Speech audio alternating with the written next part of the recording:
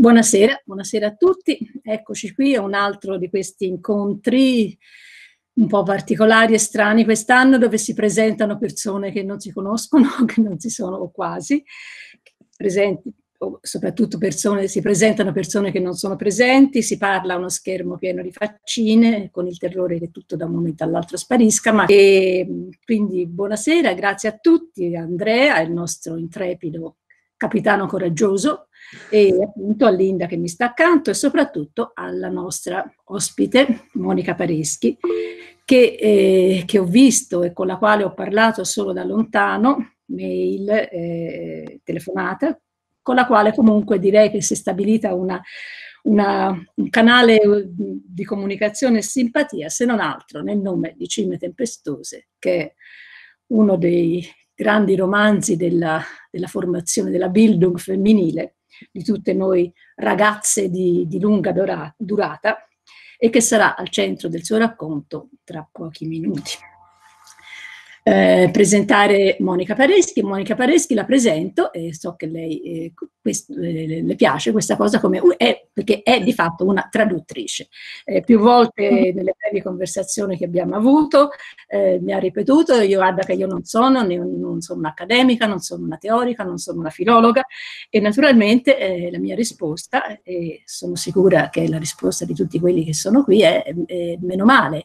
Non perché naturalmente abbiamo niente niente eh, contro né, né, la filologia né teoria della traduzione, che anzi fa parte del nostro master, e, e, e neanche con l'accademia, se la prendiamo la parola nel senso buono del termine, ma perché lo spirito di questa officina è appunto quello di entrare nella bottega del traduttore, vederlo al lavoro con i suoi arnesi, con le sue, con le sue difficoltà, con le sue soluzioni, con le sue scelte. Quindi traduttrice. E che traduttrice? Questa, nel preparare questa piccola presentazione, ovviamente come facciamo tutti con Google, sono rimasta colpita dalla, dalla quantità, ma ancora di più dalla varietà del, del lavoro di Monica, che ha tradotto tantissimo e, e, testi di genere diverso, dei grandi autori classici, oltre a Emily a Charlotte Bronte di cui ci parlerà, eh, classici nel, nel, senso, in senso abbastanza lato, cioè anche classici contemporanei come Doris Lessing, Muriel Spark, Willa Carter, molte donne, come vedete, e tra l'altro vedo anche, ho visto anche che per Neri Pozza, eh, Monica Pozza, Pozza Monica ehm, cura la collana Le grandi scrittrici, dedicata appunto ai classici femminili. Ehm, eh, molte donne, ma non solo, naturalmente, eh, Paul Oster, Ballard, Malamud, naturalmente non ve li elenco tutti, vi dico lo scozzese James Hogg, che è il, eh, il primo doppio della letteratura inglese, forse ci intravedo nelle sue traduzioni una certa propensione per il gotico, mm-hmm. forma di horror, e, ehm, poi anche tante contemporanee, sia inglesi che americani, eh, e anche eh, autrici o autori giovanissimi. Eh, non so se l'ultima, ma comunque una recentissima opera, di, una recentissima traduzione di, di Monica Pareschi, è il volume del, di Jasmine Ward, che poi mi sono incuriosita da una recensione, me lo sono comprato, me lo sono letto, ed è davvero una, una afroamericana nata nel 77, eh? e, e tutta la, eh, Monica ha tradotto tutta la trilogia e anche lì è un linguaggio mh, davvero con, che, che, che, che che sicuramente presenta una, una serie eh, infinita di, di, di, di questioni. Eh, ecco, eh, allora il, appunto, lo, lo, spaziare di, di Monica nel, nel, tempo e nello spazio appunto mi ha, eh, sì, mi ha colpito. E anche con un po' con una, con una punta di invidia perché eh, li, tradurre è una cosa bellissima e, e, ed è una cosa anche eh, eh che che, che, ti tiene compagnia comunque, ti tiene impegnato, ti tiene, la, la, mi viene in mente la settimana scorsa forse era il, la cosa del, del, del, tradurre in pigiama, no? quello che traduceva in pigiama, e perché è vero, dico, forse mh, è solo la traduzione no? ti, ti, ti, ti, prende talmente tanto che ti alzi, ti metti eh, e traduci tutto il giorno. Eh. Vabbè, infine, ultima cosa, questa è, è anche, eh, sì, oltre che traduttrice, è anche scrittrice, ha scritto un libro di, di racconti, che io non ho letto, dal titolo molto bello, è di vetro quest'aria, eh, appunto, che però non ho letto. Il titolo di oggi, La reinvenzione del passato, voce e voci in cime tempestosi e Genea, ci, eh, ci, ci indica, eh, ci segnala eh, da subito uno, un tema di, di, grandissimo interesse che è proprio quello del, delle, delle, delle, tra, delle, traduzioni e delle ritraduzioni dei grandi classici e di che cosa, eh, di che cosa vuol dire appunto eh, ritradurre, cioè la traduzione che non è soltanto un, un, tra, un, tra, un tra, tra trasportare da una lingua all'altra, da una cultura all'altra, ma anche appunto da, da un tempo all'altro. Eh. E quindi allora la parola a Monica, con, di nuovo grazie di essere con noi e ci, ci prepariamo ad ascoltarti. Allora, grazie a voi, eh, grazie in primo luogo ad Andrea che mi ha, che mi ha invitata e ovviamente a Giovanna che ho sentito appunto solo per telefono, ma insomma ci siamo raccontate un po' di cose e quello che dice è corretto, lei ha una visione forse un po', un po', un po rosea della nostra vita di traduttori tuttofare. Io sono effettivamente una traduttrice che ha attraversato generi e, e luoghi perché traduco, traduco americani, traduco inglesi, ho tradotto scozzesi, insomma australiani, quindi sono veramente poco, io, io mi, mi, sento poco specializzata, ma eh, ho ovviamente delle mie, delle mie predilezioni e, e, lavoro, diciamo, insomma, il lavoro più, più grosso di questi anni è quello più grosso, per me più, più importante, insomma, è quello, è quello, di cui vi, parlo, vi parlerò questa sera. E vedo anche, ho visto apparire facce, facce nomi noti, ho visto Daniele Petruccioli e forse Elisa Banfi, e, insomma persone che, che conosco, amici. Quindi grazie, grazie a tutti per essere qui. Spero di non dire troppe banalità, qualcuna sicuramente sì, l'avrete, l'avrete già sentita. Eh, una piccola precisazione, io ho curato effettivamente eh, la collana di classici femminili per Neri Pozza per un paio d'anni, ma non um, un paio, due o tre anni, adesso non ricordo, ma non non è più mia la curatela, quindi però, ecco, per esempio ehm, Jane Eyre è, è, uscito in quella collana, quindi...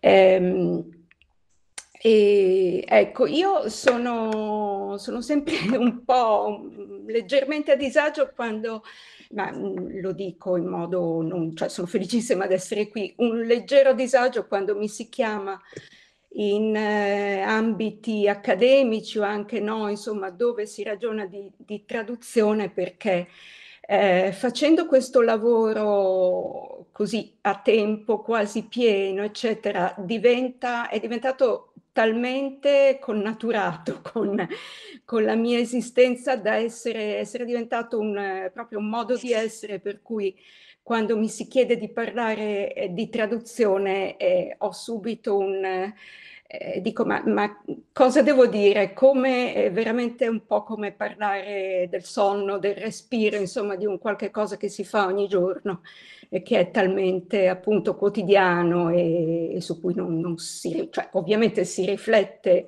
ma il tipo di riflessione che sono chiamata a fare qui è di tipo diverso, quindi insomma ci provo.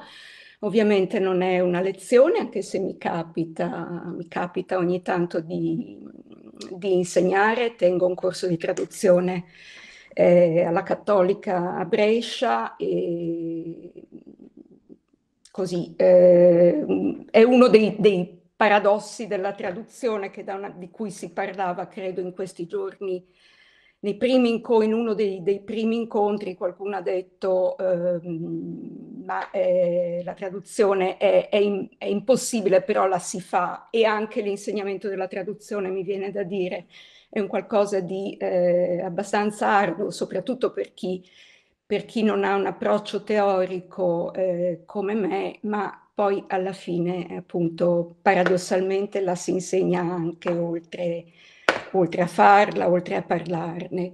Mm, allora, eh, una, piccola, una, piccola, premessa sul metodo mio di, di traduzione che insomma mi, mi, rendo conto di dover fare. Ehm, ecco, è, è, anche qui il paradosso che io dubito di averne uno, eh, perché proprio caratterialmente sono una persona poco metodica, se non eh, quello proprio di, una, uh, di avere questa frequentazione eh, così molto diretta e quotidiana con le parole, col modo in cui eh, le parole in un'altra lingua si, si combinano e come cosa diventano quando vengono trasposte eh, nella nostra di lingua, come si riaggiustano, eh, come, come, varia la sonorità eh, di, de, tra le lingue, insomma, eh, questo, questo continuo andirivieni tra un idioma e l'altro, tra una cultura e l'altra, che appunto dicevo è, è quotidiano è, è, ed è fatto, eh, avviene senza grandi eh, schermi eh, di tipo critico, perché è vero che io ho una formazione universitaria, letteraria, insomma ho studiato lingue, letterature, però eh, quando mi pongo davanti a un testo, per lo più io eh, non credo, insomma, di, sono abbastanza portata a fare un certo spazio, un certo vuoto e, e così avvicinarmi eh, in, modo, in, modo, diretto e, e, senza, possibilmente senza preconcetti. Ovviamente questo può essere visto, mi viene da riflettere, può essere un vantaggio, eh, nel senso che si arriva, si arriva senza, il testo forse arriva in modo appunto meno filtrato e, e più diretto, e allo stesso tempo chiaramente a noi traduttori puri, come li ha chiamati Andrea nel, nel suo preambolo a, a, questi incontri, mancano degli strumenti critici che forse i, i, traduttori, i professori, i filologi, eccetera, hanno sicuramente. Quindi immagino che ci siano dei pro e dei contro, ehm, è un po' anche la stessa, la stessa discussione avviene quando eh, ci si domanda se gli scrittori possano essere dei bravi traduttori, perché chiaramente lì c'è un altro tipo di rischio di sovrapporre una lingua, una lingua personale a, a, quella, a quella del testo, del testo originale. Quindi, insomma, diciamo che ogni metodo di traduzione, ogni punto di partenza ha i suoi rischi, ha i suoi, e ha i suoi, i suoi vantaggi. Ehm, ecco, ehm, dunque io ogni tanto guardo i miei appunti perché sono, ehm, insomma, ne ho bisogno, sono poco, poco abituata a questa forma di così, eh, comunicazione. Ehm, ecco, ehm, dicevo appunto di, di questo incontro che eh, con le parole che nella mia eh, officina personale avviene eh, così proprio in modo piuttosto libero, quanto più libero possibile da, sovrastru da sovrastrutture esterne al testo e, e mh, appunto ehm, questo è il modo, il modo in, cui, in, cui, lavoro io, eh, se non che eh, nella fattispecie, eh, parlando di questi due lavori, eh, chiaramente ehm, eh, questo, questo, questo, approccio è, è, un po' misto rispetto, rispetto al solito, perché ovviamente sono due testi che eh, io conoscevo, conoscevo anche piuttosto bene per averli letti, studiati, riletti nel corso della vita e anche perché ehm, si tratta di due testi che si portano dietro tutta una serie di eh, suggestioni, di, eh, così, di, di, corollari mentali e affettivi eh, che eh, davvero vanno anche oltre l'esperienza letteraria che uno può, può averne fatto nel tempo. Eh, sono due, due romanzi mh, molto eh, radicati nell'immaginario di noi tutti, credo, in particolar modo nell'immaginario, nell'immaginario femminile. Eh, sono sta questo anche prima, molto prima dei, dei Women Studies che hanno in un qualche modo restituito eh, una di, forte dignità letteraria eh, a, a, questi, ai libri delle Bronte come, come delle altre insomma, scrittrici vittoriane e non. Eh, ma eh, nel frattempo eh, diciamo che la, la fruizione di, di, questi testi, il, il, pubblico a cui erano destinati questi testi ne ha un po' mh, così modificato e ampliato anche l'influenza.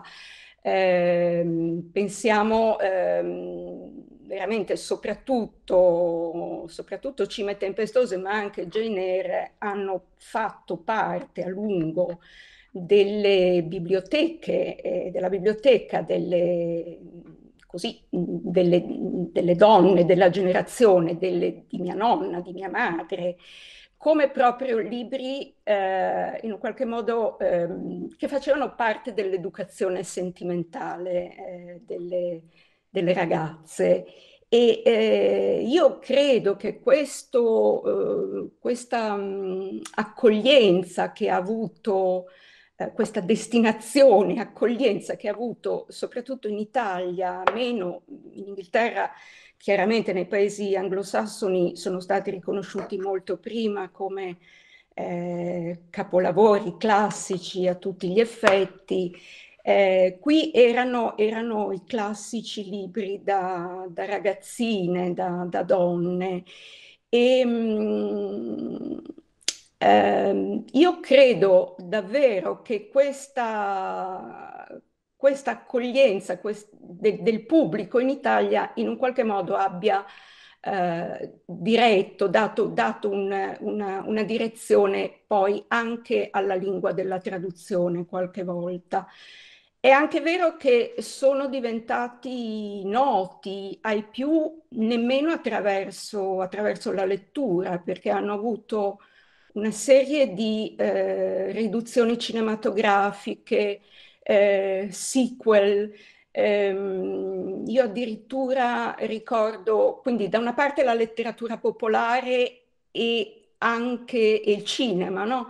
Ricordo addirittura quando ero bambina di essere incappata in un fumetto che si chiamava, si intitolava La voce, La voce nella tempesta e, e, e, appunto passavano un po' attraverso queste forme popolari. Eh, ci sono ovviamente state, le, ci sono stati film famosissimo, quello, quello con Laurence Olivier ehm, e, e anche altri, insomma quello del, degli anni 90 con Juliette Binoche, eh, la, la Gener di Zeffirelli, insomma anche per chi, per chi non aveva una frequentazione dei testi eh, c'era un immaginario legato sicuramente a questi a queste traduzioni extra letterarie, hanno avuto una vita extra, extra libresca, extra letteraria estremamente fortunata.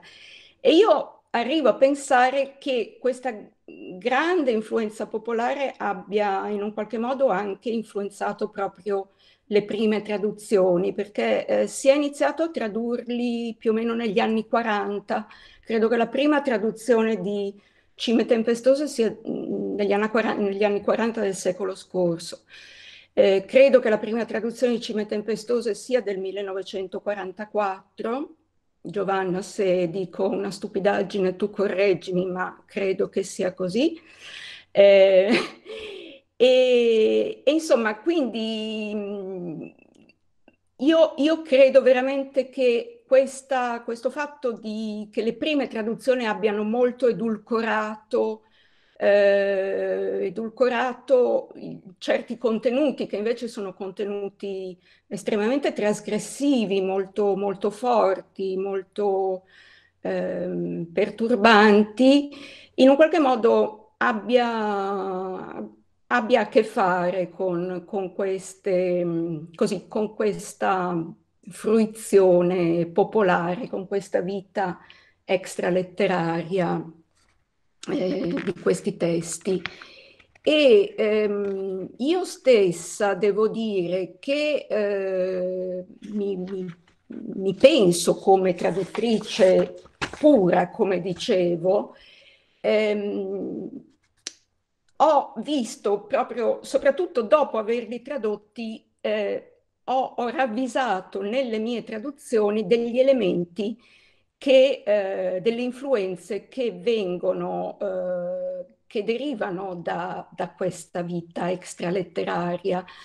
Um, io sono una, un'appassionata di cinema, quindi mh, mm, mentre, mentre traducevo anche prima, eh, avevo visto, avevo cercato di vedere quasi tutti i film eh, tratti da, sia da Jane Eyre che da Cime Tempestose e è molto probabile che eh, quelli, cioè le, le, traduzioni, le trasposizioni cinematografiche che mi hanno colpita di più, che mi, che mi sono, mi hanno convinta di più, eh, in un qualche modo facciano parte di questo mio bagaglio eh,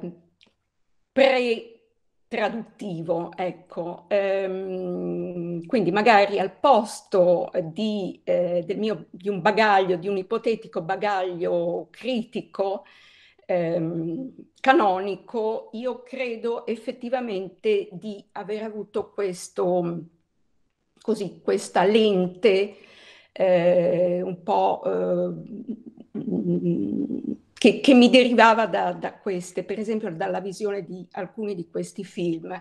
Per essere più precisa, eh, un film che io amo molto ed è una riduzione, credo, la, la, per me la più bella di, di Cime Tempestoso, di, mm, di, di Jane Eyre, è un film del 1944 di un regista che si chiama Robert Stevenson e ehm, proprio per essere girato, essere stato girato in quel periodo, un, eh, è, è, un film eh, con un'estetica fortemente espressionista, molto cupo, molto... Ehm, fa pensare un po', non so se qualcuno di voi probabilmente ha visto, conosce i film ehm, di quel grande regista danese che è eh, Carl Theodor Dreyer, che è stato maestro di, di Bergman e eh, in particolare Die Sire è un film che secondo me, io penso che questo regista abbia visto Die Sire, perché eh, veramente l'atmosfera è molto, è molto vicina, cioè c'è questa idea di questo puritanesimo estremo eh, di, di, alcune figure, per esempio il direttore del collegio di Lowood, eh, questo Mr. Mr. Brockhurst, che è una figura terribile nella sua integrità puritana e, e nemica della natura. Eh, ci sono dei passi molto forti nel romanzo e nel film in cui lui eh, taglia i capelli a una ragazzina perché all'amica di Jane perché ha dei capelli bellissimi e quindi e ovviamente il male, il demonio. E, e veramente l'atmosfera è proprio in questi film, di, in questo film in particolare, è, è questa è, è quest atmosfera qui, insomma, eh, cupa, puritana e, e, tutto cucinato in chiave espressionista che è, è molto angosciante.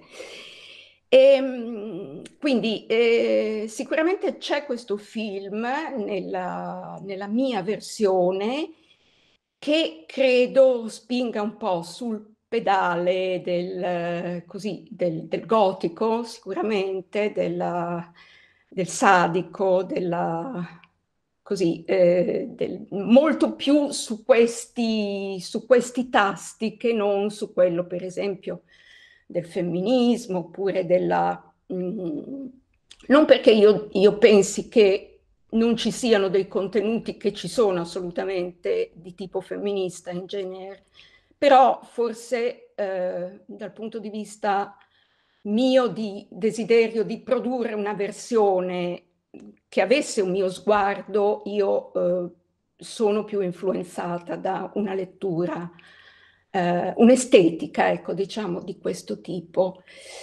E, ehm, ecco, eh, poi ovviamente nel bagaglio del, del, del traduttore generalista che sono, eh, ci sono anche letture, non critiche, ma Oddio, una critica me la ricordo dal mio passato di studentessa ed è un libro molto bello che è uscito credo nei primi anni Ottanta e uh, si chiamava The Mad, the, Mad Woman, the Mad Woman in the Attic ed era che Giovanna conosce sicuramente e, che io lessi ai tempi così all'università e, e sicuramente c'è stata questa influenza, ma ancora di più forse ehm, parlando di, di, poi quello che, eh, che hanno eh, generato questi testi anche delle, una, una, certa familiarità con i testi che si sono ispirati eh, a, a, Cime Tempestose e,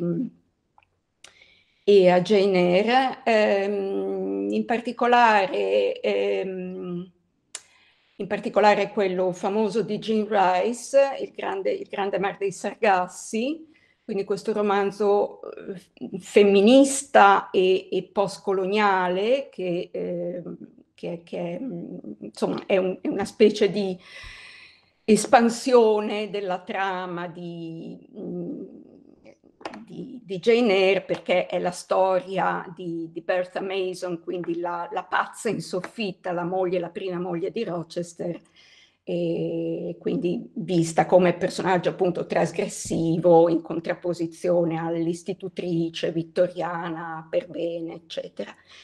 E poi, e poi un altro libro eh, importante per me è stato quello di Marie Scondé, ehm, più recente questo, ehm, che si chiama in francese, se non so, allora me l'ero segnato perché poi l'avevo letto in inglese, si chiama, eh, dunque in inglese si chiama Windward, era stato tradotto un titolo bellissimo, Windward Heights, che gioca con Wuthering Heights Windward perché si svolge alla Guadalupe, lei è una scrittrice eh, francofona, però originaria della Guadalupe, e, e, quindi è una storia di cime e tempesta. Ecco, La migration de cœur, mi, mi, mi, è tornato il, il, titolo francese.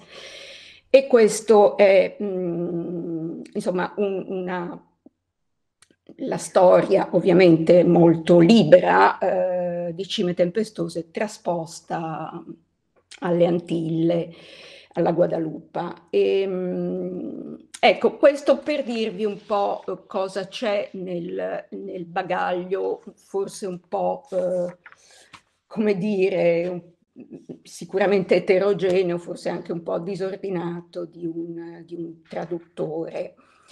Ehm, ecco, invece, adesso guardo un attimo l'ora perché poi vi volevo far vedere delle cose un po' più... Abbiamo ancora un'ora, quindi Dopo vi farò vedere un po' di cose mh, mm, così più tecniche rispetto, cioè che vi faranno vedere insomma un po' come, come ho gestito dei problemi ricorrenti. Un altro, eh, un altro un altro, un'altra parte del mio bagaglio invece è un film che pochissimi hanno visto in Italia, un film del 2011 di Cime Tempestose, ehm, molto meno noto del, degli ultimi due che, che, sono usciti. È un film di Andrea Arnold, che è una, una regista mh, inglese abbastanza sperimentale e ehm, era stato presentato a Venezia, questo film è appena uscito, aveva credo anche vinto qualche premio, e però non è mai stato distribuito in Italia, probabilmente per, insomma, perché era troppo, effettivamente, probabilmente troppo sperimentale per un pubblico allargato. E ehm, io sono consapevole di essere stata fortemente suggestionata, soprattutto al primo tempo di questo film, ehm, che ha un, un, inizio, un primo tempo quasi muto, in cui i personaggi parlano pochissimo, ehm, ci sono, eh, è, si mostra questo rapporto primitivo dei due protagonisti ehm, bambini, cioè Heathcliff e, e Catherine, attraverso proprio una gestualità molto forte e, e, il loro rapporto estremo con gli elementi, con la natura, quindi ci sono molti suoni eh, più o meno sgradevoli, eh, un, un, senso proprio molto terroso del, del, del territorio, ehm, il vento, nitriti di cavalli, animali. È un, eh, un, film molto bello, secondo me, se vi capita, mh, mm, vedetelo perché è veramente ehm, estremamente interpretativo, estremamente mh, così eh, coraggioso anche. Eh, Heathcliff, per dire, è, è di pelle nera, è una, ovviamente film girato in periodo, in epoca postcoloniale, eh, l'altro, eh, così quasi l'altro, il diverso, quasi, quasi per forza, no? È, è, è altro anche proprio somaticamente ed è, ed è, ed è una persona di colore. Ehm, ecco, quindi questi, questo per dire, per dire di alcune cose che mi hanno, mi hanno influenzata. Eh, invece, ehm, par parlando, cioè arrivando ai punti eh, così più tecnici della, della, mia traduzione, che ripeto, eh, io adesso vi farò qualche esempio, però l'idea di traduzione per me è sempre un, un, un qualcosa di, che deve avere una sua coerenza interna. Eh, proprio per questo io penso che inevitabilmente una traduzione eh, sia eh, a suo modo debba essere anche interpretativa, perché se non c'è un, così un, un'idea eh, sul libro, su, su come devono, devono, tornare poi tutti gli elementi, è difficile, difficile creare un, un, un testo, è difficile fare un'operazione letteraria, è difficile creare un qualcosa che non sia semplicemente una traduzione di servizio, ma che sia appunto a tutti gli effetti un altro testo, un'altra possibilità del libro. Ehm, e, e, quindi io, eh, insomma, non volevo fare delle dichiarazioni teoriche, però eh, avrete capito che sono,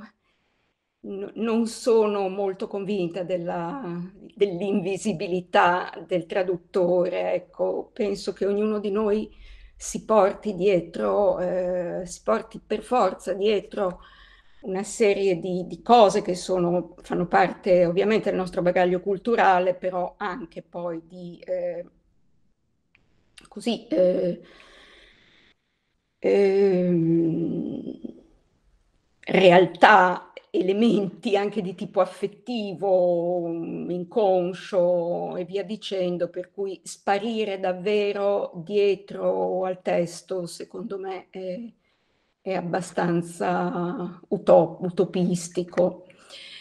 Ehm, dunque, eh, i, i, problemi, problemi e, e qui, mh, mm, qui vengo, vengo, un po' a questa, al, al titolo no, che ho dato, dato all'incontro, la voce e, eh, e, le voci, le voci dei personaggi, la voce, appunto, la voce del testo, la voce dei personaggi.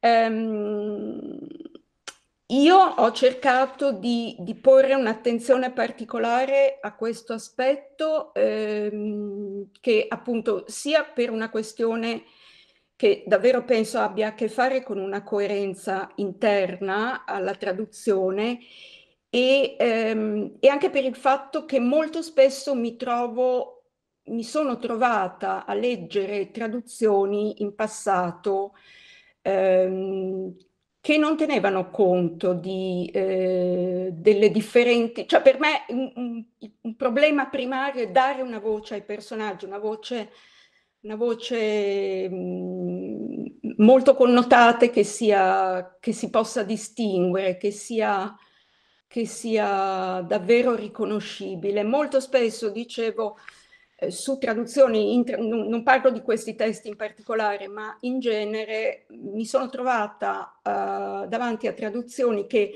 alla fine non mi piacevano, non mi piacevano non perché ci trovavo degli errori, eccetera, ma perché eh, pur essendo magari traduzioni estremamente corrette, ehm, eh, avevano un qualcosa di anodino, di, cioè non risuonavano, non, non avevano questa, mm, questa risonanza che invece l'originale, l'originale ha sempre. E, mm, e, quindi, insomma, io quando, quando, mi metto a tradurre, soprattutto un testo importante, eh, cerco di, di, mm, di pensarci, cerco, cerco, di lavorare in questo senso.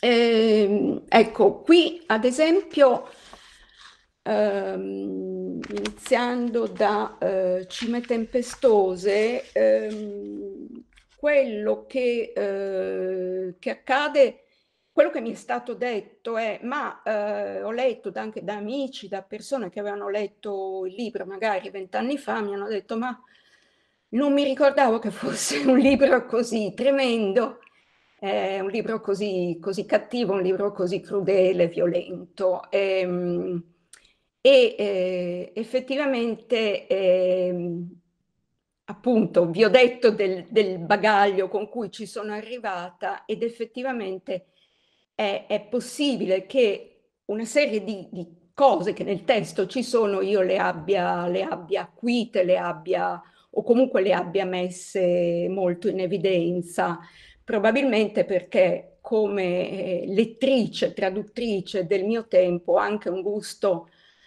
un gusto letterario e per la lingua che va eh, in una direzione appunto del, del postmoderno, cioè mi sembra accettabile e anche interessante tutto ciò che magari è un po' estremo, cioè arriviamo a, questa, a tutto questo dopo aver visto, non so, i film di David Lynch, aver letto, aver letto tutta una serie di di letteratura postcoloniale che effettivamente, post, scusate, postmoderna, che effettivamente eh, ha, ha o, o, presenta un gusto per le esagerazioni, no?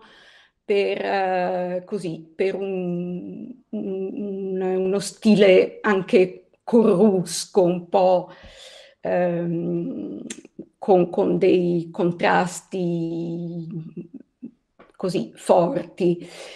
E eh, dunque qui c'erano, ci sono dei personaggi, per esempio Heathcliff ha una sua, un suo, una sua lingua e anche a parte il personaggio che fa effettivamente una serie di azioni eh, estremamente sgradevoli, estremamente violente, arriva alla necrofilia, insomma sappiamo tutte queste cose, ma proprio a livello di linguaggio suo eh, è, è, nel, nel, testo spesso si dice eh, Heathcliff non parla, non dice abbaia o latra, eh, c'è tutta una sfera eh, semantica che ha a che fare con, eh, il, con il, lupo, con il cane, che, col, col concetto, con l'idea del divorare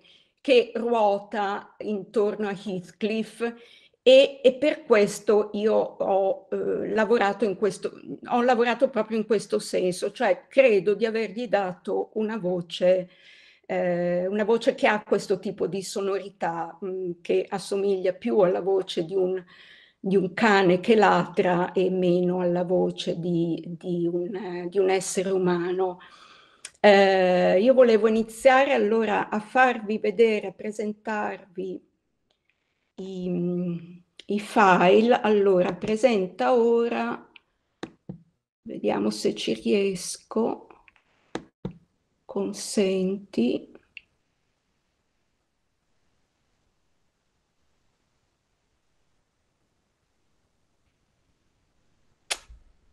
vediamo se caricando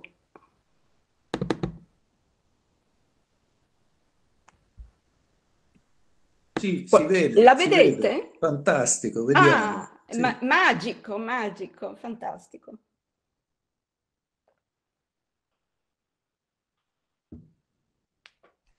Allora, qualche esempio della lingua di Heathcliff e come io ho cercato di lavorare, a volte in modo anche un po', come dire, intemperante, secondo i miei bravissimi editor, ma poi mi hanno abbastanza lasciata libera.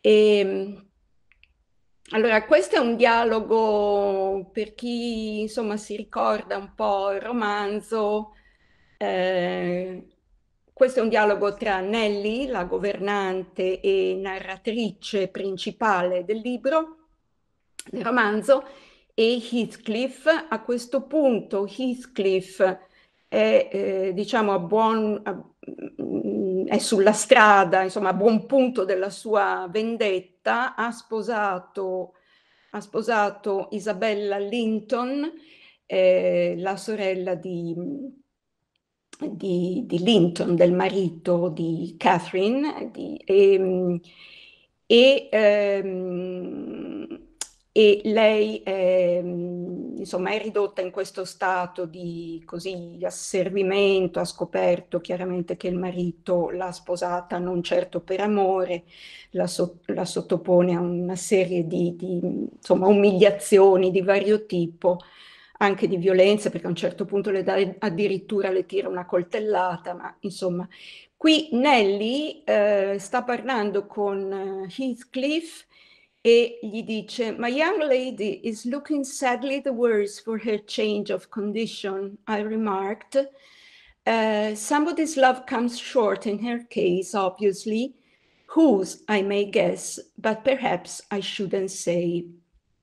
E Heathcliff replica I should guess it was her own. She degenerates it into a mere slut. She's tired of, of trying to please me uncommonly. Uh, she tired of trying to please me uncommonly early. You'd hardly credit it, but the very morrow of our wedding, she was weeping to go home. However, she'll suit this house so much the better for not being over nice and I'll take care she does, she does not disgrace me by rambling around. Allora, qui c'è una cattiveria concentrata in, queste, in, questa dichiarazione che veramente fa, fa paura. E ehm, per esempio, io qui, questo slut, che è una parola eh, molto comune in inglese, no?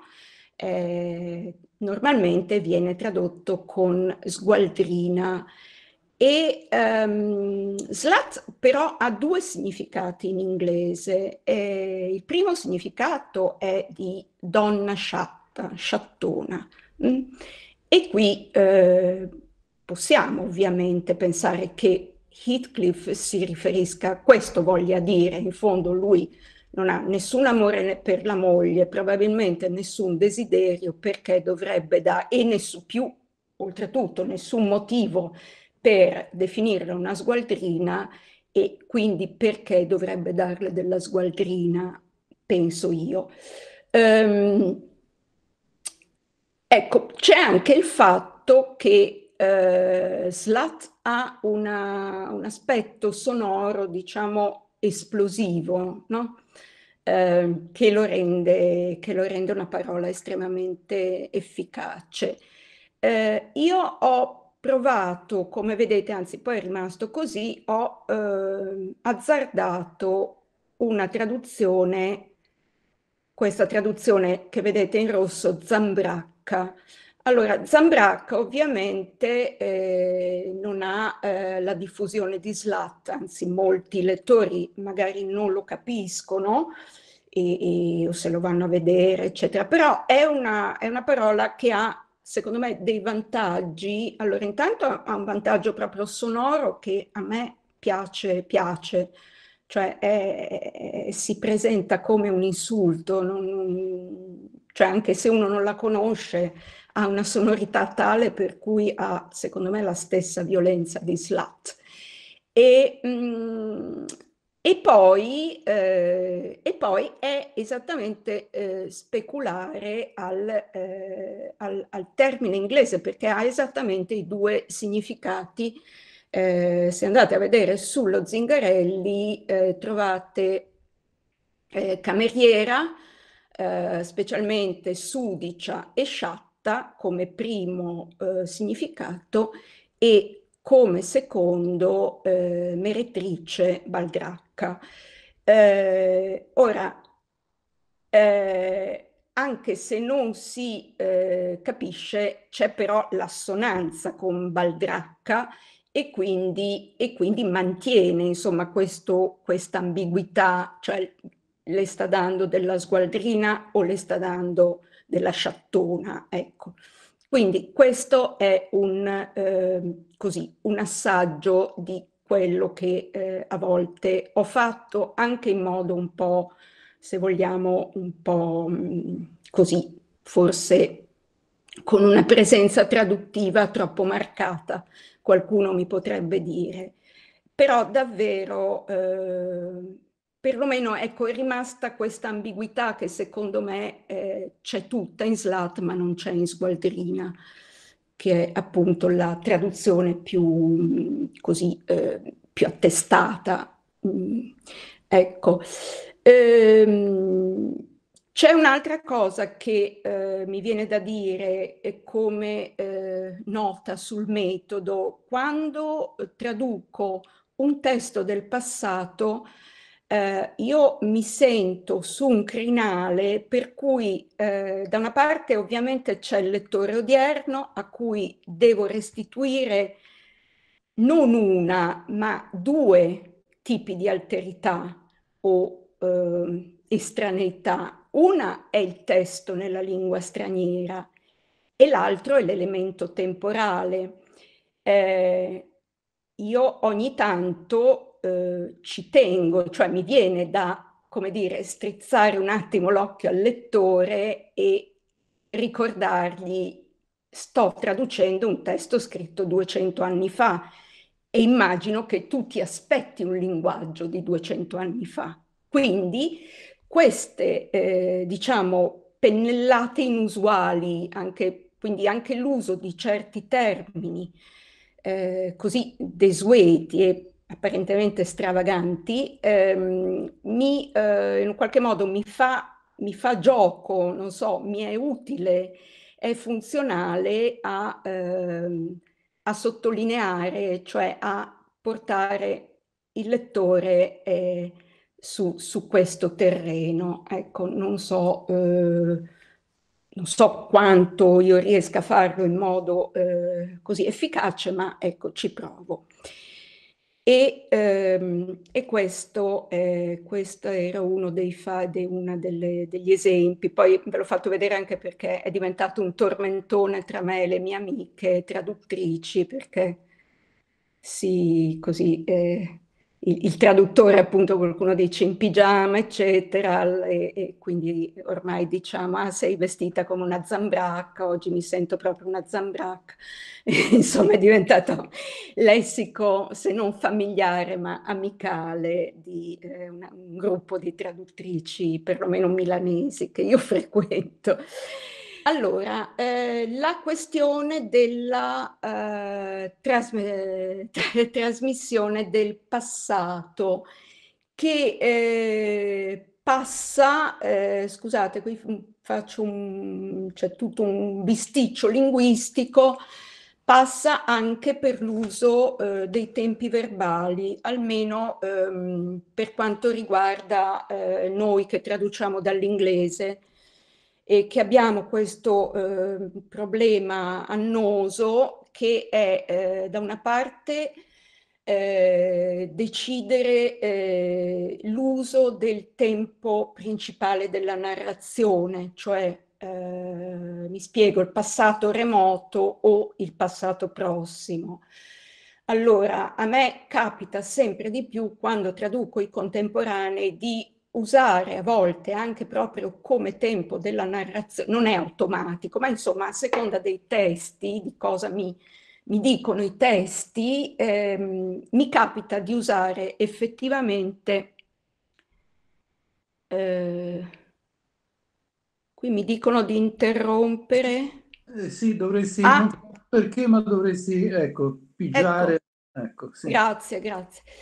Allora, eh, dicevo, anche con testi contemporanei mi capita effettivamente eh, di decidere che il tempo della narrazione è il passato prossimo. Eh, ne discutiamo continuamente noi traduttori perché qualcuno, qualcuno lo trova molto pesante come tempo da usare per la narrazione, eh, qualcuno accusa noi traduttori del nord di usarlo perché al nord non sappiamo, non sappiamo usare il passato remoto, qui siamo comunque abbiamo una grande familiarità col, col passato prossimo, diciamo l'anno scorso sono andato a Roma in modo del tutto disinvolto io, mm, ma io, io lo uso, lo uso, ma uso anche il passato remoto. Eh, qui siamo, siamo... Allora, qualcuno forse voleva già fare una domanda?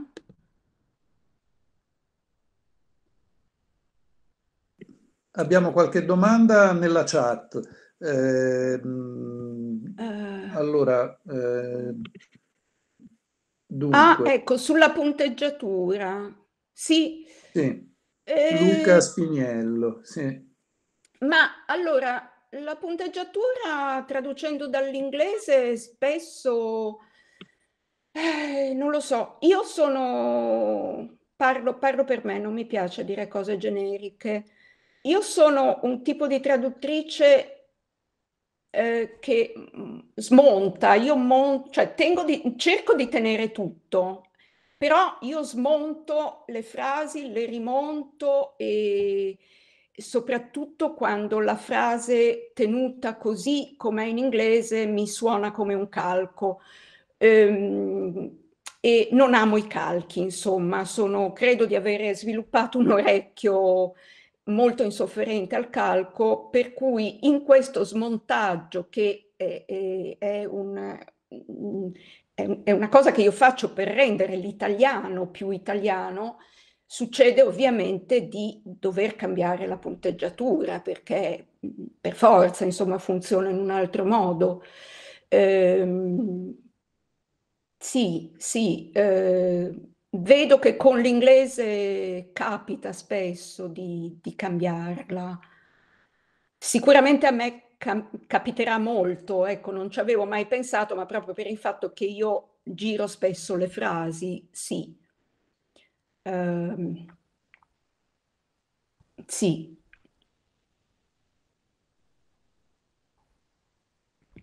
Ecco, per tornare invece al problema eh, del... Eh, grazie, grazie a lei o a te, insomma al problema del, dei tempi. Eh, qui siamo sui classici, quindi uno direbbe che bello, non c'è problema, è evidente, no? E anch'io eh, in modo del tutto pregiudi pregiudiziale quando mi sono messa a tradurre, eh, soprattutto cime tempestose, perché è quello che pone invece un, pro un problema di tempi narrativi più di genere, eh, ho detto che bello, non ci sarà, non c'è questo problema, insomma, spesso di difficile soluzione. Eh, è, sì, è chiaro che il tempo della narrazione è il passato remoto e assolutamente no. E adesso vi faccio, allora, Cime Tempestose per chi se lo ricorda e per chi invece non, non l'ha letto, non se lo ricorda, è narrativamente una specie di gioco delle scatole cinesi, cioè c'è un narratore iniziale che è come il primo, la prima scatola, il primo involucro, che non è tra l'altro il narratore principale. Il narratore principale è, viene dopo. Quindi c'è questo narratore che inizia a raccontare di, che va, insomma, affitta la casa di Heathcliff, inizia in un presente, lui diventa l'inquilino di Heathcliff e parla un po' del presente. Dopodiché eh, inizia la narrazione vera e propria che è la storia di Heathcliff e Catherine e poi della, della morte di Catherine, del, del, degrado della casa di Wuthering Heights, eh, tutte le varie vicende e questa seconda narrazione viene offerta a Lockwood da Nellie che è la governante e, e quindi lei è la narratrice principale, diremmo la narratrice che per forza parla al passato remoto. Eh, Dopodiché all'interno della narrazione di Nelly ci sono tante piccole isole narrative in cui magari ci sono delle lettere che vengono, che qualcuno scrive, c'è una lettera di Isabella Linton che è molto lunga ed è parte della narrazione perché lei racconta quello che, eh, quello che succede per un certo periodo di tempo, per una lettera. E quindi le convenzioni stilistiche di una lettera mi porteranno non, magari non verso il passato remoto, ma verso il passato prossimo. E, e via dicendo. Eh, questo, questa cosa eh, molto complessa, ed è veramente un romanzo molto complesso per, dal punto di vista mh, così di questi incastri temporali. E eh, questa difficoltà è già evidente eh, all'inizio, eh, proprio nell'incipit che vorrei farvi vedere come ho risolto e ne sono anche abbastanza contenta perché era, non era di facile soluzione. Allora ve lo faccio vedere, presenta ora il tuo schermo intero, consento e Ed ecco qui.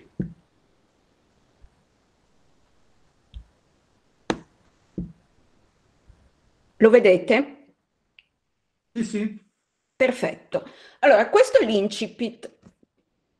E, inizia, potrebbe essere una pagina di diario, forse, perché inizia con una data e I have just returned from a visit to my landlord, the solitary neighbor that I shall be troubled with. This is certainly a beautiful country. In all England, I do not believe that I could have fixed on a situation so completely removed from the stir of society. A perfect misanthropist's heaven, and Mr. Heathcliff and I are such a suitable pair to divide the desolation between us.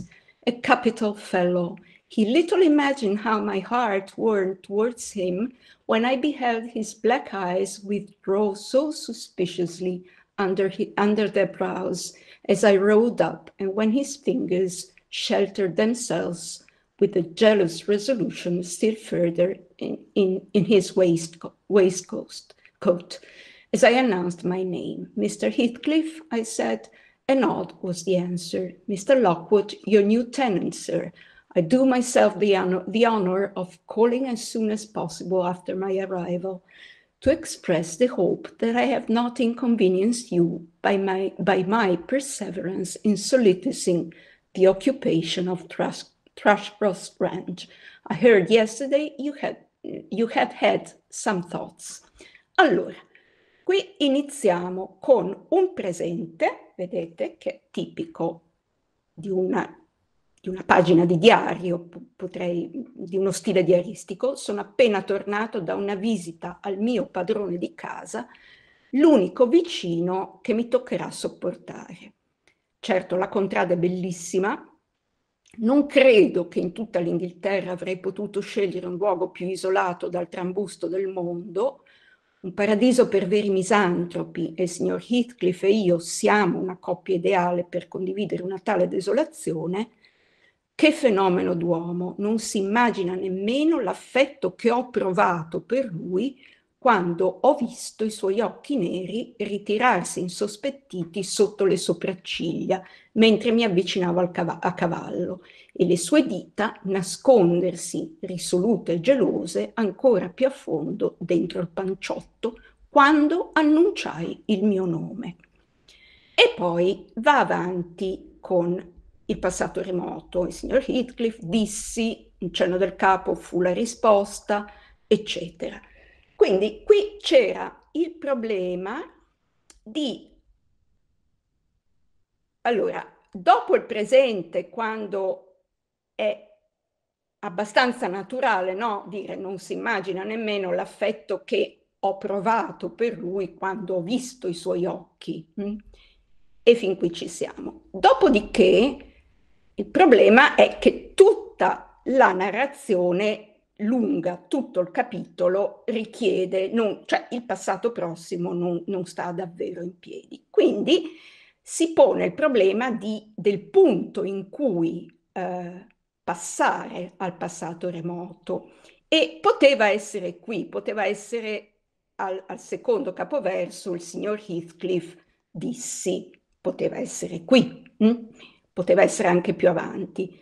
Io l'ho messo qui, cioè dentro all'interno di una frase che inizia col presente, prosegue con due passati prossimi e finisce così, con questo annunciai. Perché secondo me qui è un fatto un po', eh, diciamo, eh, così estetico quasi, eh, cioè secondo me è un fatto formale, ho i tre tempi in un'unica frase. Mh? Mm? E dal punto di vista, insomma, dell'estetica, della bellezza della frase, del, del, della pagina, qui forse questo scivolare, mh? Mm, questa sorta di piroetta al passato remoto in questo punto me lo rende più, eh, come dire, da una parte meno percepibile, quindi più naturale anche. Eh, questa è la mia impressione. E, ehm, ed è vero che qui io il, uh, il, passato prossimo non sarei riuscita a sostenerlo a lungo, perché poi è pieno di dissi che ho detto, ho detto così davvero sono cose che in un testo magari eh, molto, molto contemporaneo va bene, ma qui non, non funziona. E quindi eh, da una parte mi sono tenuta questi passati prossimi che, hanno, che sono funzionali a questo inizio appunto così di racconto diaristico e ehm, il passato prossimo a me piace molto un po' perché ovviamente è il tempo del passato dell'italiano che parlo io, ma, eh, ma, poi trovo davvero che abbia eh, delle risonanze, eh, come dire, affettive particolari, cioè secondo me è un tempo che avvicina, non solo perché avvicina, perché è vicino, perché il tempo è vicino, ma proprio avvicina perché io ti racconto qualcosa in presa diretta, te lo racconto al passato prossimo e eh, come dire, è un, è un, racconto, è un racconto che ha più a che fare con l'oggi, ha più a che fare con le mie emozioni, è un qualcosa di meno formale.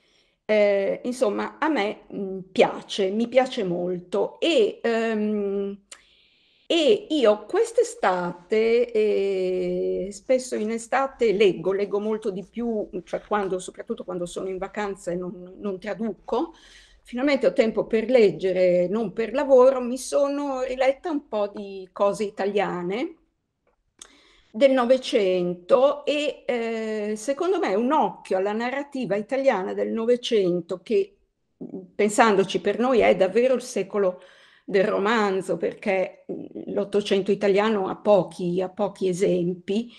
Ehm, ecco, secondo me un occhio a questo tipo di narrativa aiuta in questo senso, eh, cioè vedere cosa hanno fatto i grandi scrittori del Novecento, non so, penso a Fenoglio, a Buzzati, con la sintassi italiana, è molto liberatorio, cioè io ho in mente adesso delle frasi di Buzzati dove all'interno della stessa frase io trovo tre o quattro tempi verbali diversi o nello stesso capoverso.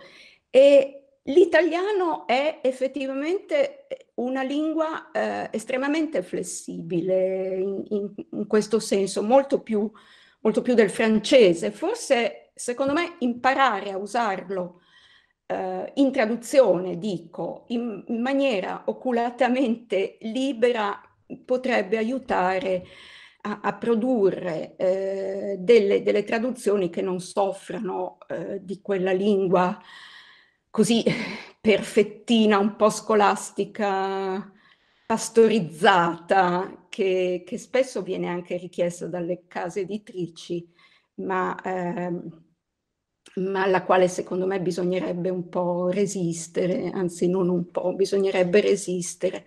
Eh, lo dico, non so, penso che ci siano anche parecchi studenti, degli studenti qui a sentire. Io passo una gran parte della, del tempo, che, delle ore che ho a, disposizione di insegnamento per estirpare dai miei studenti quella che eh, Calvino chiamava l'antilingua, cioè questa lingua carica di congiuntivi, di formule, non perché il congiuntivo sia il male, ma eh, eh, questa sovrabbondanza no? di, di, congiuntivi, di questo italiano rigido e, e, e, difficile, perché più è difficile, più è corretto, più la parola è astrusa, più la formula è, è complessa e, e, meglio parlo l'italiano. Insomma, gli, gli, studenti, cioè è un lavoro tra l'altro che eh, dovrebbe essere fatto molto prima, ma mi arrivano alla laurea magistrale, arrivano studenti, magari anche bravi, che però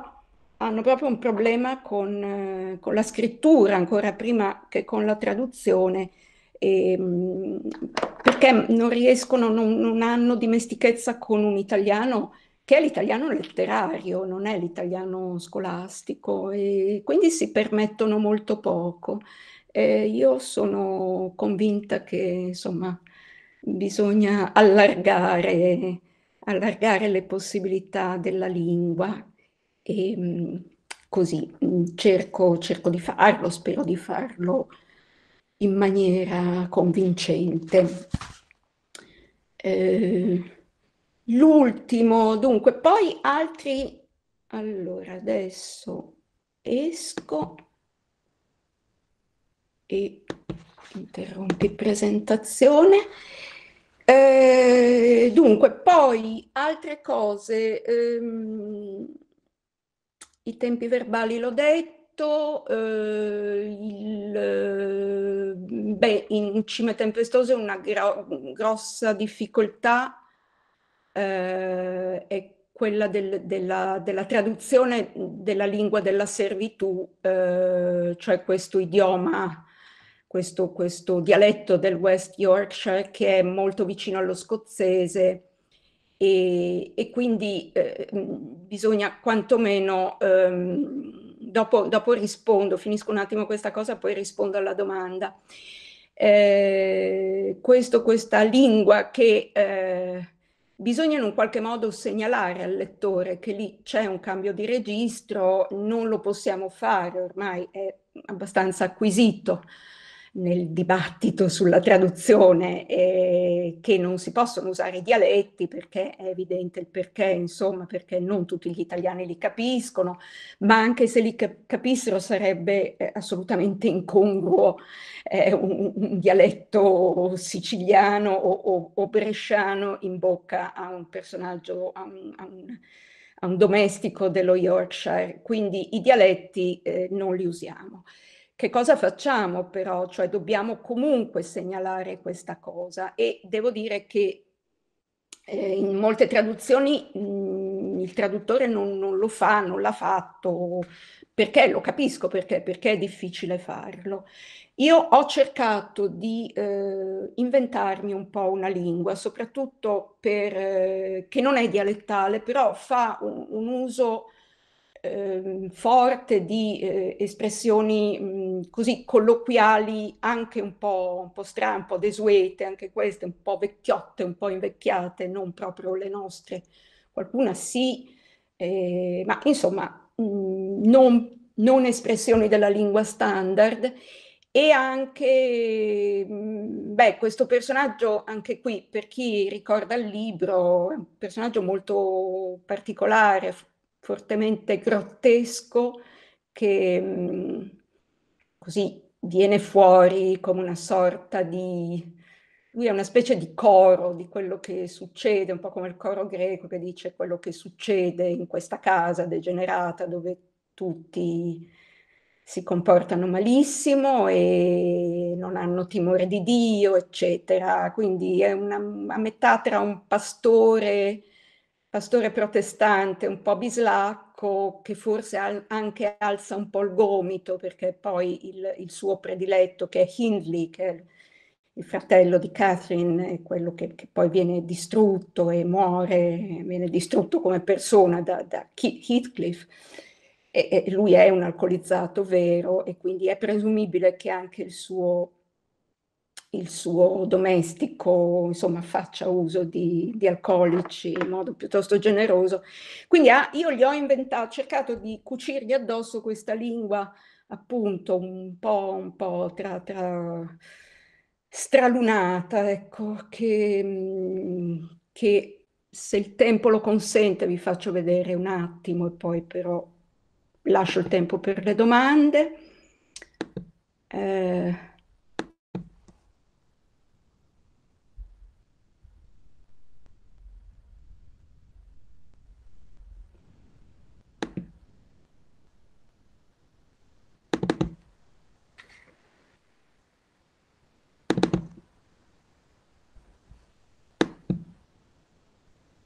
Allora, vedete solo le parti in rosso perché abbiamo poco tempo, però vedete subito che, insomma, non è inglese, cioè è, è davvero... Eh, anche a un inglese può essere così eh, non, non, ovvia questa dizione, anche se poi, vabbè, ci si arriva.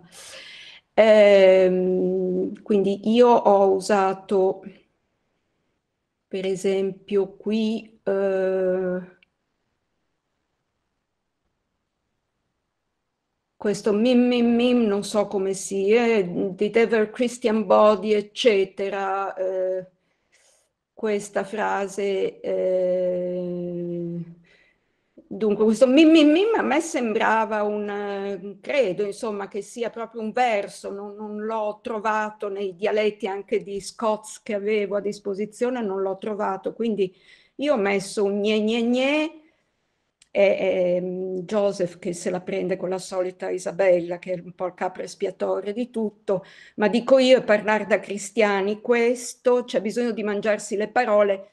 Qui sono pentita perché ho scritto come si fa a capire una che parla così, io forse adesso azzarderei addirittura un perché non parli come mangi eh, lui tra l'altro le dà del tu nel suo, nella sua follia, anche se lei ovviamente appartiene alla classe dei... Eh, insomma è, è, la moglie del padrone. Quindi ho cercato di usare eh, molte forme eh, così che gli altri non, non usavano, per esempio ehm, se adesso ci, to- qui, se adesso ci tocca prendere anche altri ordini, proprio quando cominciavo a farci il callo ad avere due padroni, quindi anche queste dislocazioni, farci il callo, se adesso mi tocca anche sta- star sotto a una donna, è proprio ora di far fagotto. Insomma, ho usato questo, questo gergo un po', un po', contadino, un po' eh, così, eh, che spero gli abbia dato, abbia dato a queste sue frasi una coloritura un po', un po diversa. Ehm, poi appunto lui dà del tu nel suo, cioè in queste sparate tremende ehm, che fa contro i padroni, perde proprio la, la Trebisonda e perde completamente il rispetto.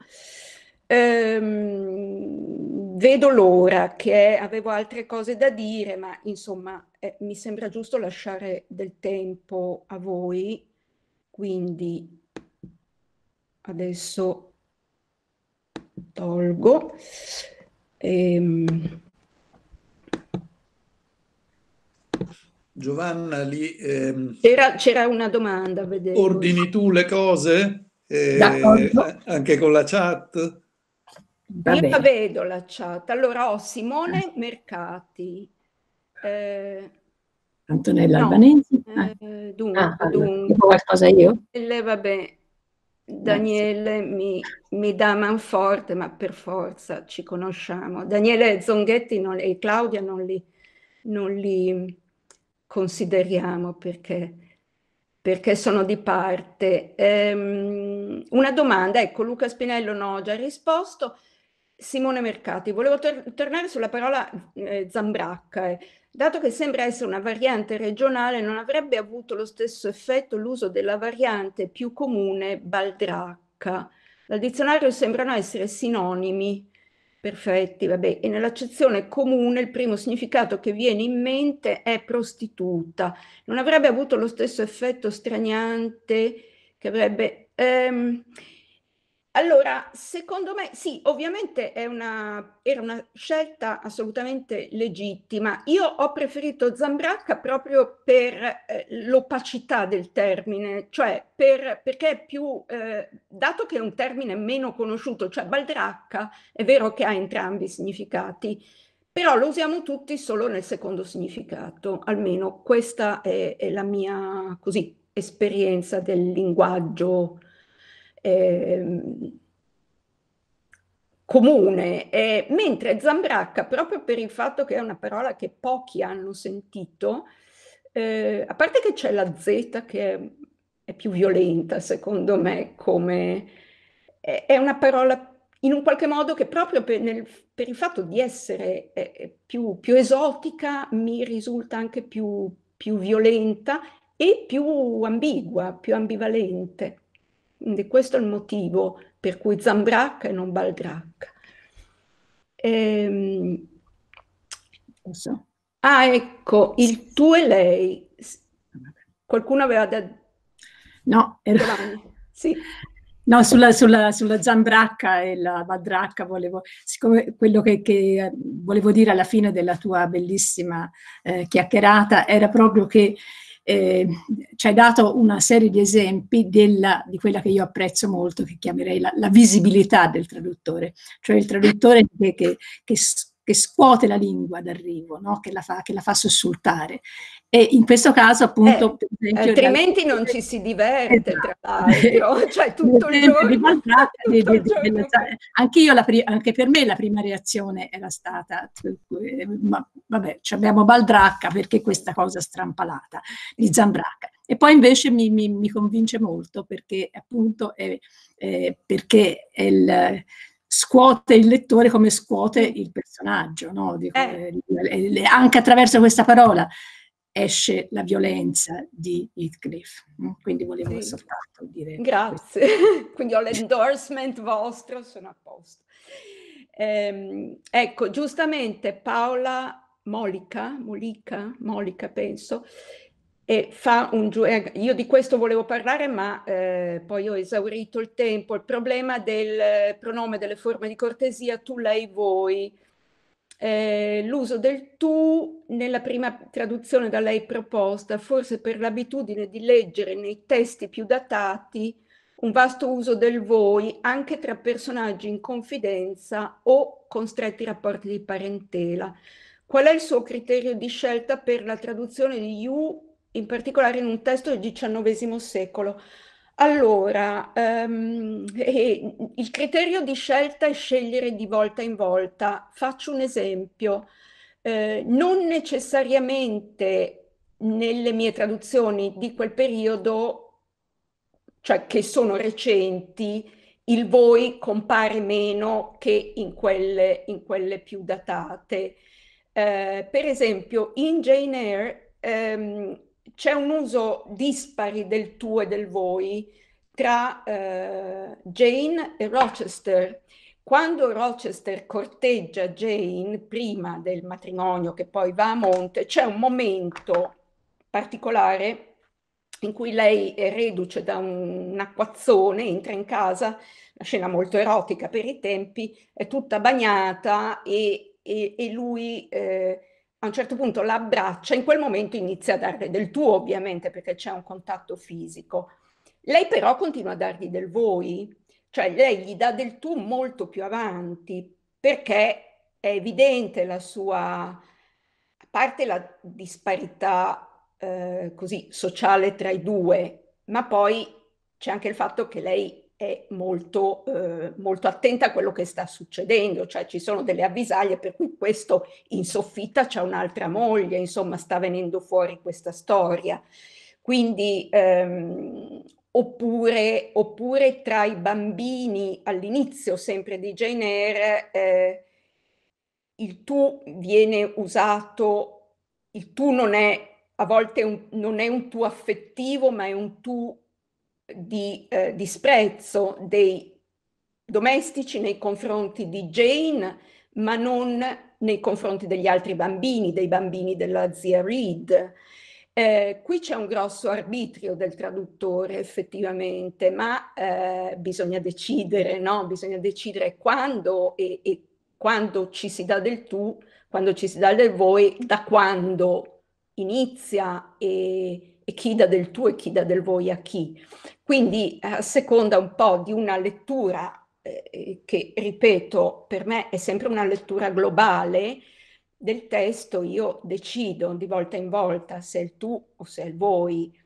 Mm, diciamo che per testi del, di questo periodo eh, un contatto fisico tra due persone spesso implica un passaggio al tu. Mm i bambini. Però è anche vero che, per esempio, i bambini eh, a volte in certe traduzioni mie danno del voi anche ai parenti grandi. E questo se uno si è fatto raccontare dai nonni, dai bisnonni, io so che mio nonno dava del lei forse a sua madre, non del voi ma del lei.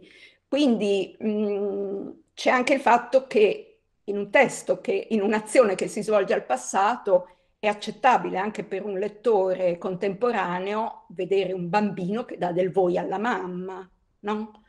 Perché è, è vera questa cosa poi, che cioè, mh, eh, succedeva, quindi eh, non è un voi così di comodo e si va avanti col voi tutto il tempo.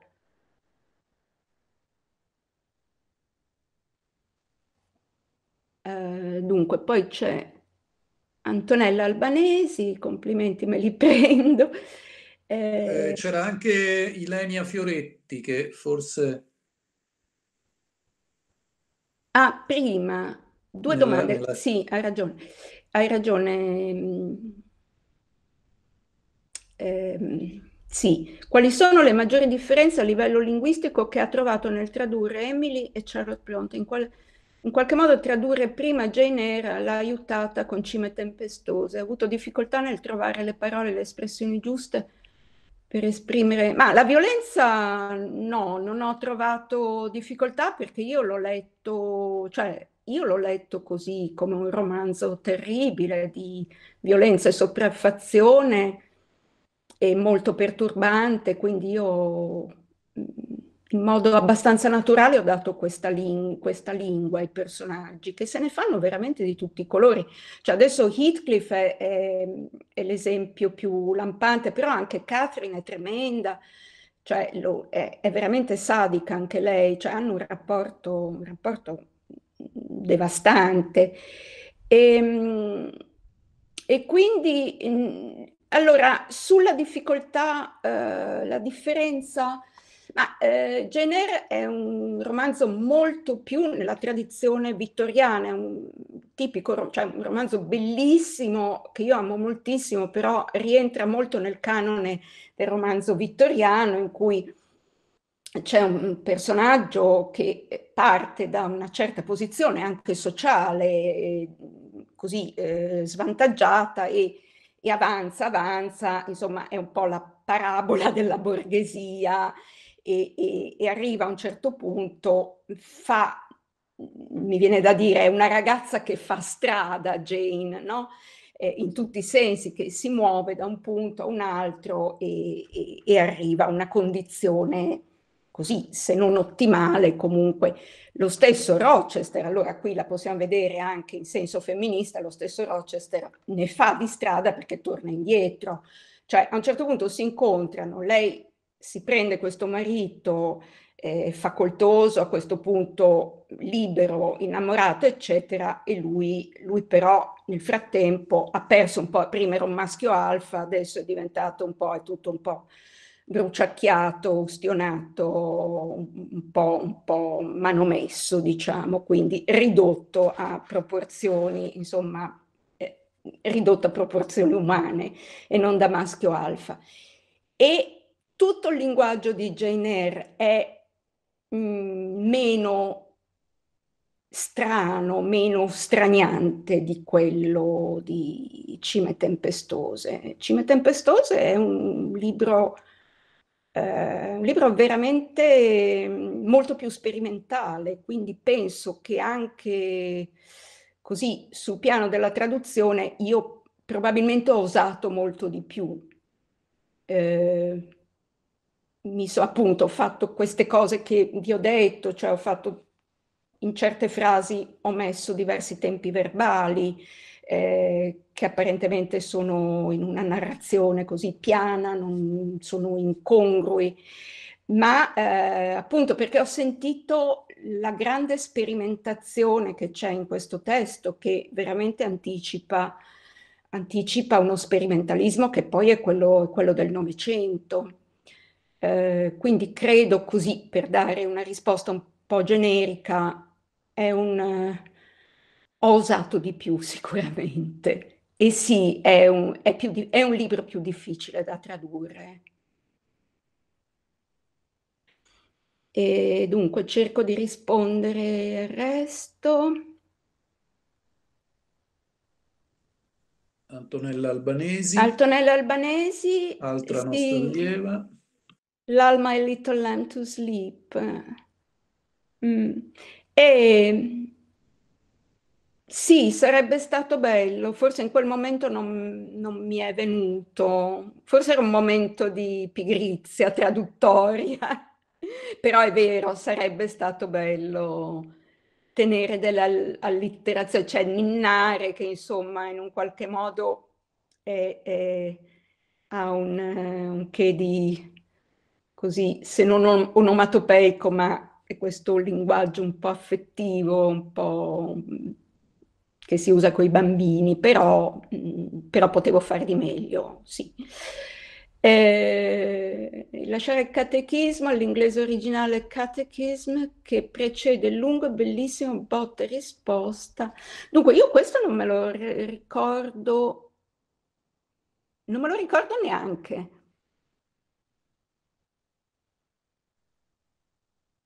Questa, questa cosa del catechismo, io in questo momento non me la ricordo. Tenete conto che io l'ho tradotto tipo quattro anni fa e poi è uscito più di recente.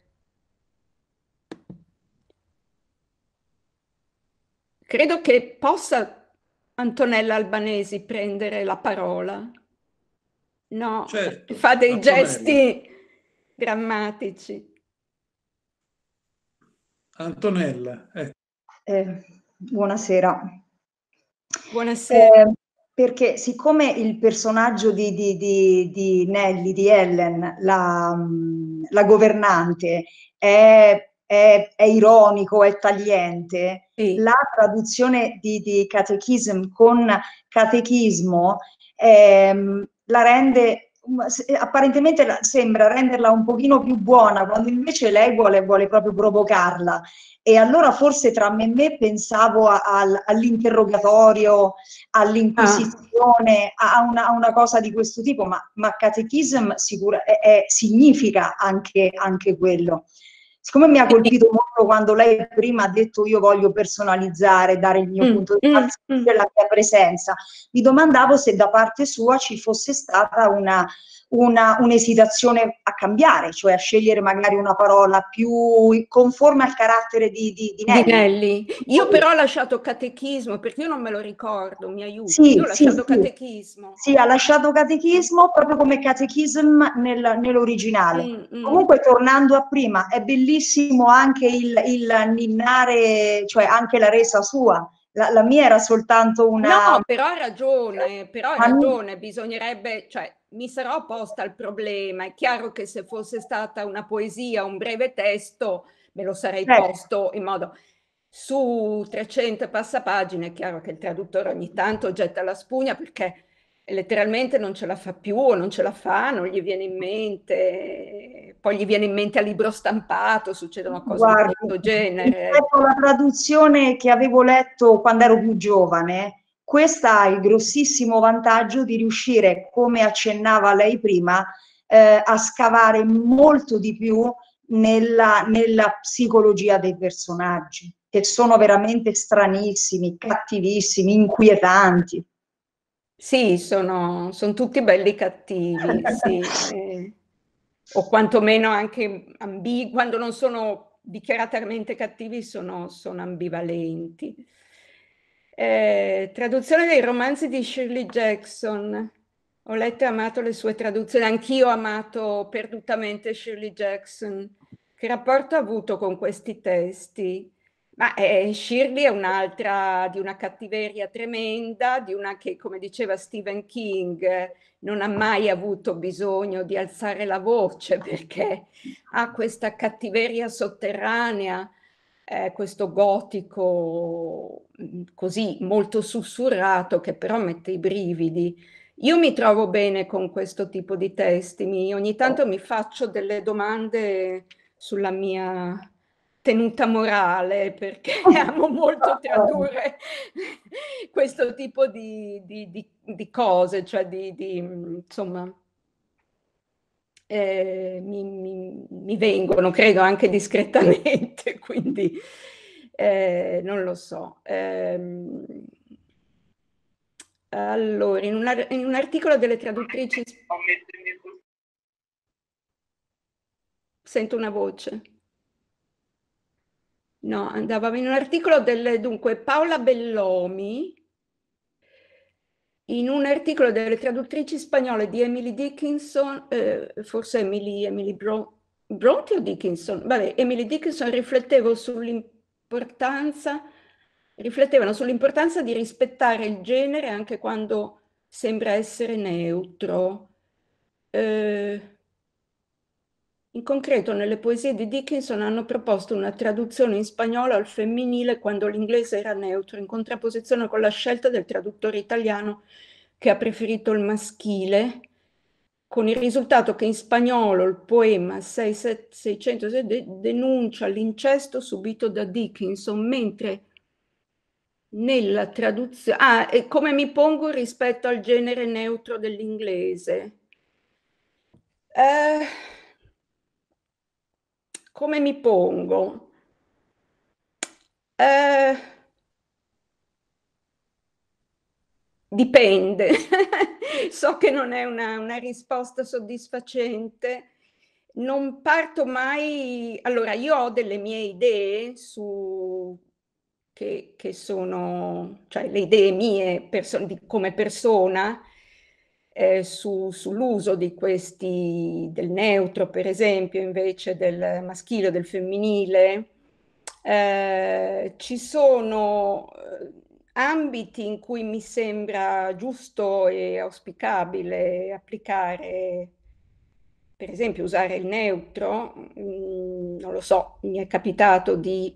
Mi è capitato una volta di tradurre una poesia e per ragioni in cui c'era la parola poeta e, ed era femminile, e per ragioni non solo ideologiche, ma anche fonetiche, fonologiche, eh, funzionava per me molto bene la parola poeta, anche se era femminile. Allora, se queste due cose vanno insieme, va bene.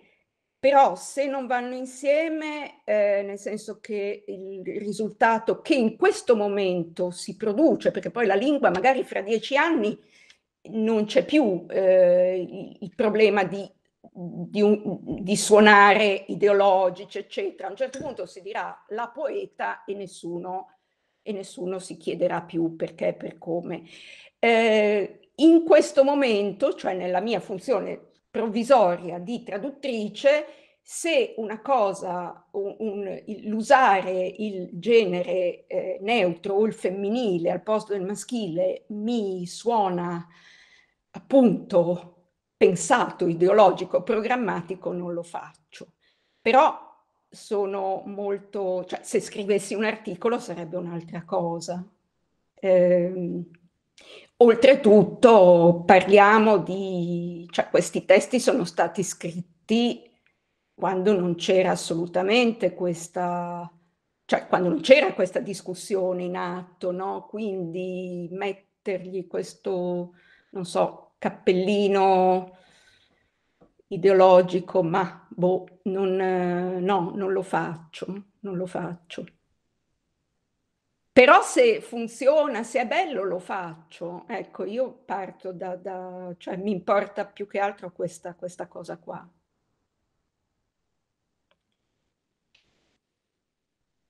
Eh, vedo un, un'ultima eh, domanda da parte di un altro allievo del master, Federico Carciaghi. Nella scelta del voi per i personaggi ci può essere un'influenza dei dialoghi delle trasposizioni cinematografiche dove forse è più presente questo uso? Eh, allora, sull'uso del voi abbiamo discusso eh, qui a Milano e forse anche, anche in altri luoghi ehm, con una storica della lingua molto brava che ha scritto un libro secondo me molto utile per chiunque si occupi di traduzione, eh, che è Maria Rosa Bricchi. E, ehm, che ha scritto um, la, lingua è, la lingua è un'orchestra, um, adesso non ricordo esattamente il sottotitolo, è tipo una grammati grammatica per uso dei traduttori, insomma una cosa del genere, dove appunto lei fa questo discorso sull'antilingua, la, e, e, sulla lingua della traduzione. Allora, il voi lei, per esempio, dice che il voi non si dovrebbe usare, si dovrebbe usare lei perché storicamente nell'Ottocento si usava lei, cioè il voi è, venuto dopo. Comunque lei era la forma, eh, la forma eh, di, di, cioè la, la, formula di cortesia più alta, più, cioè, ris, più rispetto si tributava all'interlocutore e più gli si dava del lei, poi al, al voi, si, poi c'è il voi che era intermedio e poi il tu. Um, sì, ecco, mi mettono, i colleghi mi met, mettono i, eh, le, le, insomma, le informazioni eh, bibliografiche sul libro della, della Bricchi. Eh, sì, il voi, io ho cercato di proporlo quando la traduzione era in, in Fieri, perché proprio in, in, quei, in, quel periodo si discuteva con Maria Rosa di queste cose e, e Enrico, che, Enrico, Ganni, che vabbè non è più, non è più con noi, e anch'io, anch'io un momento un po' di commozione, eh, come Claudia, E lui mi aveva detto, ma, eh, ma no, però, però il lettore è abituato così, cioè facciamo una cosa, una cosa troppo, mm, come dire, troppo, già mi aveva, mi aveva concesso Zambracca, mi aveva concesso una serie di, di, di, cose un po' pirotecniche, questo voi è rimasto voi, però si sta molto discutendo su questa, mm, eh, questa opportunità di continuare a usare il voi eh, quando si traducono i classici e, oppure come sarebbe storicamente più corretto usare il lei perché eh, il voi arriva, arriva, dopo in italiano, arriva nel Novecento e, e, passa. Eh, ecco, e credo io, ehm, eh. allora, siamo, eh, abbiamo sforato moltissimo, moltissimo. La, nostra, la, nostra, pretesa di essere sempre perfetti con, eh, con, gli orari, ma è stato uno sforamento assai piacevole. Allora, io, se siete d'accordo, darei, eh, ridarei la parola a Giovanna, eh, a Giovanna Mochi, a chiudere e, ehm, io eh, semplicemente mh, vi ricordo che la settimana prossima avremo Lorenzo Flabbi all'officina e, e, da questo momento in poi non dico più nulla e lascio completamente la parola a Giovanna Mochi e a Monica Pareschi. Sì, Giovanna Mochi che dirà davvero due parole per ringraziare Monica di, questa, eh, di questo percorso eh, entusiasmante verso, verso appunto le, le, le, le, spicolosità, a parer mio, eh, necessarie belle della traduzione, in particolare della sua traduzione. E, ehm, staremmo qui, io starei qui ancora a lungo, perché le, le, le domande poi vengono, le curiosità, ma così, naturalmente come Andrea ci dice abbiamo sforato, quindi, quindi non mi rimane che, che, salutare tutti e ringraziare davvero eh, calorosamente Monica per questa, per questa bella ehm, eh, bella riflessione che ci, che ci, fai fare, che ci farai fare, per esempio la questione del lei, voi, è un, no? per chi traduce dall'inglese, mm. lei, voi, tu, e, e, e i, tuoi, i, tuoi, passaggi tra il voi e il tu, tra l'altro, sono, sono, sono, molto interessanti, incime tempestose, insomma ci sarebbero tante cose ancora di cui parlare e questo è un segno che, che è stato una bella, una bella, un bel incontro. Grazie e grazie a tutti e buonasera a tutti. Grazie a voi, davvero. Grazie. Arrivederci. Grazie Monica, grazie a tutti. Grazie. Arrivederci, arrivederci.